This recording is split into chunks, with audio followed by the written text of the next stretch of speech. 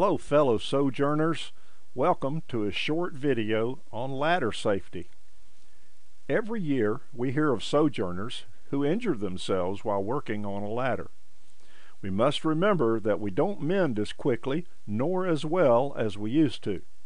A fall from a ladder can result in terrible injury or even death. So let's be extra safe working around ladders. Well, this video covers some basic do's and don'ts for working on ladders. Let's begin with what we should do. We should select the right ladder for the job. There are many types of ladders available, each having a primary or specific purpose. The two most common ladder styles that we use are step ladders and extension ladders.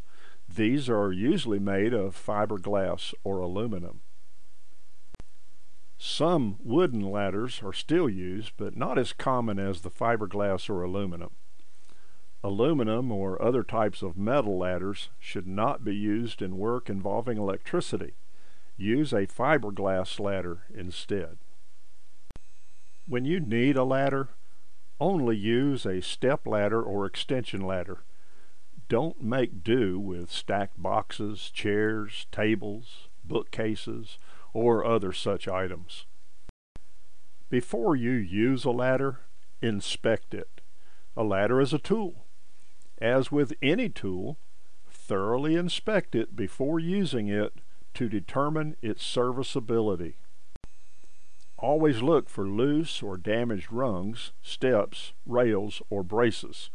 Also check the feet of the ladder to see if there's any damage. If the ladder is damaged, repair or replace it. Carefully set up the ladder. Look around before you set it up. Check to ensure it will not contact electric wires, especially overhead wires. Set up the ladder on a solid, level surface. Step ladders should be fully opened.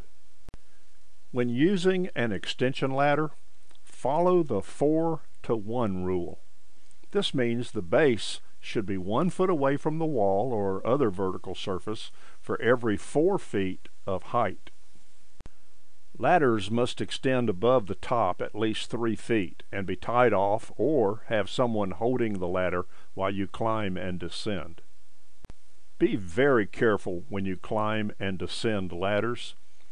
Always face the ladder and use both hands to climb and descend. Keep three of your limbs on the ladder at all times. Now let's focus on what not to do.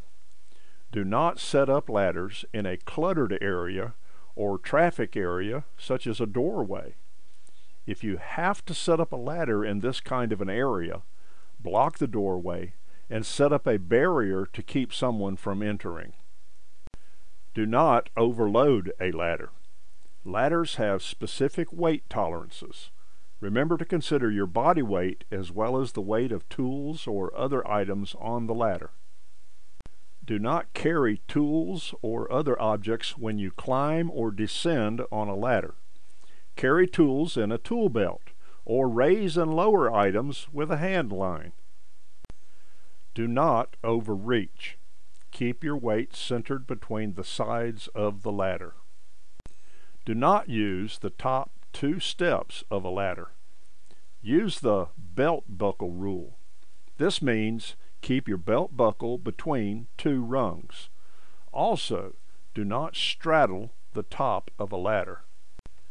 Remember these key points when using a ladder. Match the ladder with the job. Maintain at least three points of contact when climbing or descending a ladder. Remember the 4 to 1 rule and remember the belt buckle rule. As we age, we might gain wisdom from our experiences.